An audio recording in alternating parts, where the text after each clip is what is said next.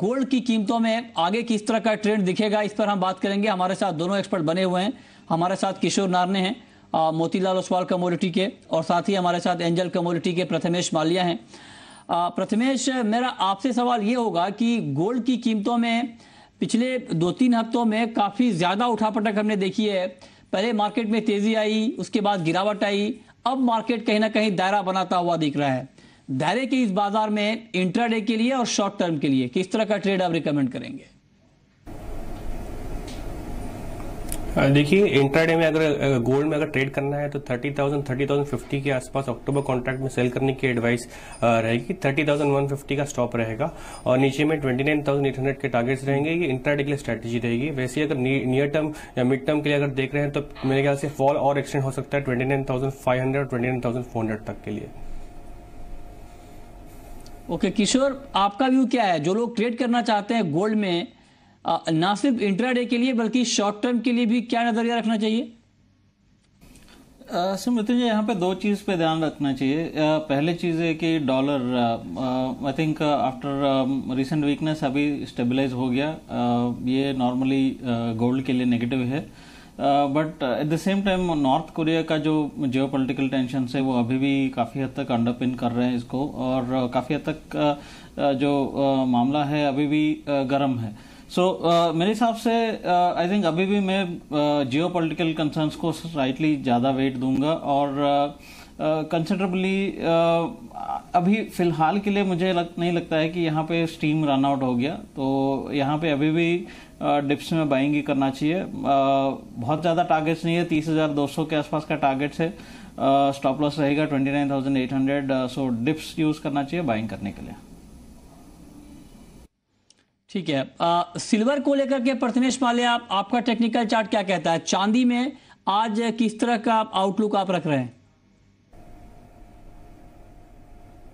चांदी में भी सेल बना के रखेंगे 41,500 के पास। अभी 41,200 चल रहा है तो मेरे ख्याल से थोड़ा ऑफसाइड आएगा वहाँ पे रैली पे सेल कर सकते हैं। 41,900 का स्टॉप रहेगा और नीचे में टारगेट 41,000 के लिए रहेंगे।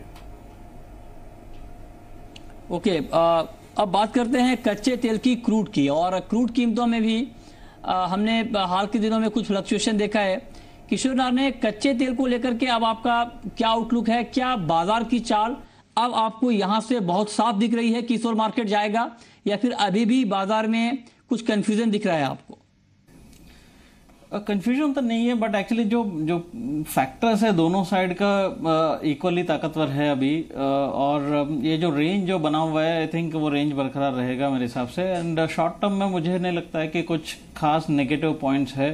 थोड़ा बहुत ओपेक का प्रोडक्शन कमज़ोर हुआ है लिबिया का प्रोडक्शन कम हुआ है, और आई थिंक डिमांड स्टेबल है तो मेरे हिसाब से हल्का सा पॉजिटिव ही होना चाहिए।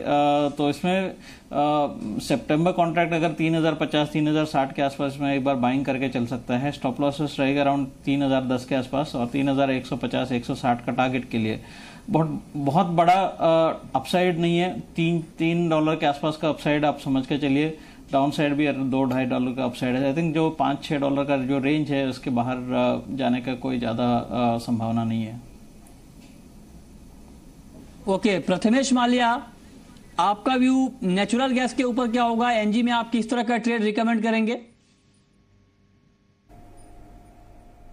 देखिए एनजी में काफ़ी वॉलेटिलिटी रही है पिछले कुछ ट्रेडिंग सेशंस में 180, 186 पॉसिबली और 192 अपसाइड में। तो मैं समझता हूँ ये जो वीकनेस है पॉसिबली 178 तक एक्सटेंड हो सकता है। अगर आप अगर आप थोड़ा सा मिड टर्म स्ट्रेटजी देखें तो और 178 के नीचे पॉसिबल फॉल एक्सटेंड हो सकता है 172 तो नेचुरल गैस में अगर कोई स्ट्रैटेजी बनानी है तो सेल करके रखनी है। बाइंग बाइंग नहीं रहना है इस पर्टिकुलर काउंटर में। ड्रॉप कर। दें ओके किशोर नार ने बिल्कुल संक्षेप में आज के कारोबार के लिए बेस मेटल्स में आपकी टॉप पिक क्या होगी? आई थिंक बेस मेटल्स जो रैली हुआ था पिछले uh, कई दिनों से आई थिंक थोड़ा सा वो और ये आउट परफॉर्म कर चुका है जो, खुद का फंडामेंटल्स के लिए। थोड़ा बहुत जो आउटेजेस था वो भी वापस आ रहे हैं। तो मुझे लगता है कि जो डॉलर स्टेबिलिटी है और प्रोडक्शन जो आउटेजेस था, वो थोड़ा सा कम हो रहा है। तो आई थिंक यहाँ पे थोड़ा सा प्रॉफिट टेकिंग मूव आ सकता है, जो हम लोग देख रहे हैं पिछले एक दो सेशन से, जो कॉपर निकल में। तो कॉपर बिकवाली करके चलना चाहिए, नवंबर वायदा 432 के आसपास 435 का स्टॉप लॉस के साथ और 427 के आसपास के टारगेट के लिए। बिल्कुल संक्षेप में, प्रथमेश, आपकी टॉप पिक बेस मेटल्स में?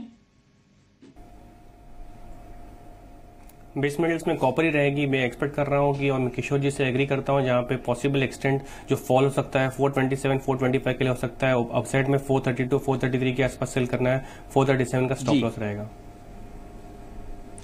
और चलिए इस वक्त एक बड़ी खबर आपको बता दें कि अगस्त में गोल्ड इंपोर्ट में भारी उछाल देखने को मिला है और तिरपन टन के स्तर पर अगस्त में गोल्ड का इंपोर्ट पहुँचा है यानी 25 टन से बढ़कर तिरपन टन अगस्त में गोल्ड का इंपोर्ट हुआ है। हालाँकि बेस काफ़ी कमज़ोर था पिछले महीने पिछले साल में इस महीने तो उसकी उसके मुकाबले इस साल अगस्त में तिरपन टन का इंपोर्ट हुआ है, जबकि पिछले साल अगस्त में 25 टन का इंपोर्ट हुआ था। हालाँकि वित्त मंत्रालय के सूत्रों का यह मानना है कि एवरेज जो है इंपोर्ट गोल्ड का मासिक इंपोर्ट वो करीब 50 टन के आसपास रहने वाला है। तो गोल्ड इंपोर्ट को लेकर के आप ताज़ा अपडेट यहाँ पर देख पा रहे हैं। और अब वक्त है रैपिड फायर राउंड का।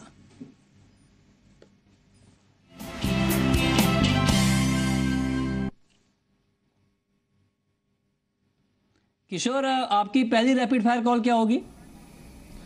मैं गोल्ड में बाइंग का सलाह दूँगा दिसंबर वायदा 29,950 के आसपास अ, 29,800 का स्टॉप लॉस के साथ और टारगेट रहेगा 30,200 प्रथमेश आपकी रैपिड फायर कॉल? सिल्वर दिसंबर कॉन्ट्रैक्ट में सेल की स्ट्रेटेजी रहेगी। 41500 41600 के रेंज में सेल करना है। 41900 का स्टॉप रहेगा। नीचे में 41000 के टारगेट्स रहेंगे। ओके okay, आपकी आखिरी कॉल किशोर? मैं नेचुरल गैस सितंबर एक बार बाय कर सकते हैं। 192 के आसपास 190 189 का स्टॉप लॉस रहेगा। अराउंड 196 का टारगेट रहेगा। ओके। चलिए, बहुत बहुत शुक्रिया किशोर नारने आपका और प्रथमेश माल्या आपका भी हमसे जुड़ने के लिए, बताने के लिए आज कमोडिटी मार्केट में कहाँ पर कमाई के मौके होने वाले हैं।